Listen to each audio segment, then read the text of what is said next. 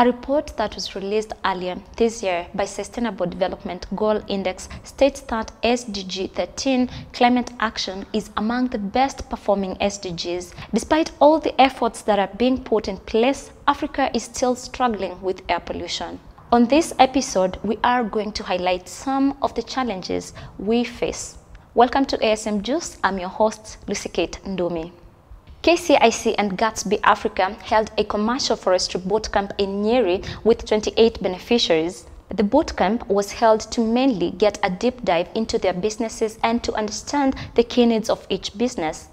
The beneficiaries will receive financial support in form of grants and loans, business advisory services, technical assistance, access to information, facilities and policy advocates that will help them grow their businesses. The businesses are expected to create employment opportunity, grow the GDP of the country and assist the Kenyan government to achieve the 10% forest in two years.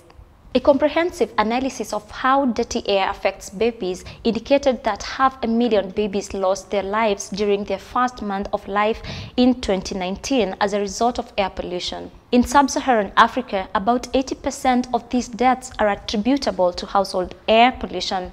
Scientific evidence over the years has shown that women who are exposed to air pollution are more likely to give birth to babies who are born premature or with a low birth weight. A report which was produced by the United States-based Health Effects Institute and the Institute for Health Metrics and Evaluation at the University of Washington says that air pollution may affect a pregnant woman, her developing fetus, or both through pathways similar to those of tobacco smoking, which is a well-known risk factor for low birth weight and preterm birth.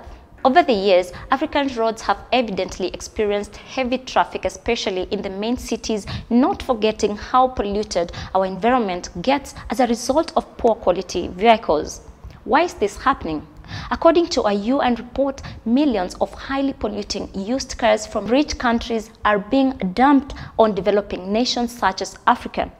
The report shows that between 2015 and 2018, some 14 million older, poor quality vehicles were exported from Europe, Japan, and the US, with four out of five being sold to poorer countries. More than half were sold to Africa.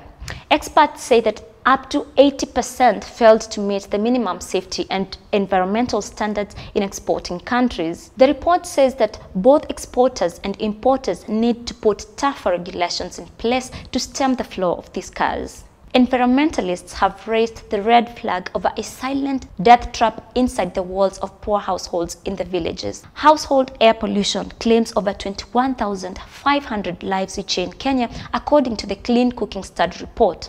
Kenya Climate Working Group estimates that the extreme daily inhaling of the indoor smoke is equivalent to smoking 40 sticks of cigarettes, which happens while cooking and lighting using firewood, kerosene and even plastics. According to the chairman, John Kioli, government efforts should be directed towards offering this lower-end segment of the population cleaner energy alternatives.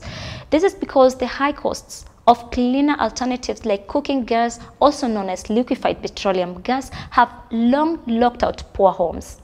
Ending on a positive note, Clean Air KE, one of the startup companies that was part of the Kenya Climate Launchpad Finals, which was coordinated by Kenya Climate Innovation Center, are developing an outdoor machine which will be used in purifying the pollutants in the air.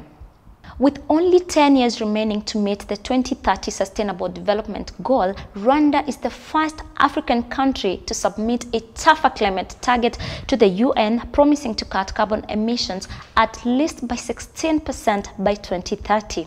We appreciate your time for checking our updates. Please subscribe to our channel and also find us as Africa Sustainability Matters across all social media platforms. I have been your host, Lucy Kate Ndumi.